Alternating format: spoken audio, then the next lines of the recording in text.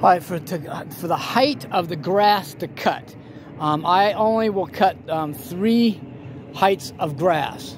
Um, St. Augustine is cut between four and four and a half. I use four because I'm finding it, it, it cuts better at four. Some customers like it at four and a half. Um, the notes on the Service Autopilot software will tell you what height grass the customer wants it cut at.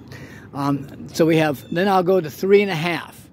So it's three and a half, four, or four and a half. That's the only three settings I have. I don't go any lower than three and a half because um, over the years I find that there are bumps in the, ground, in the ground, in the turf. Um, so if it's any less than three and a half, you will find those bumps and it will scalp your turf. And then the customer gets upset.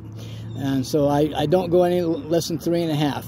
Um, I had one customer that wanted it less than three and a half, and and we parted ways. I won't do it. Uh, not only that, but it'll you know you catch that dirt and it'll um, ruin your blades.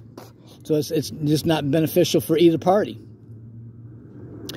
Um, and the reason now these are at, at, quarter inches too, but not all mowers have quarter inch.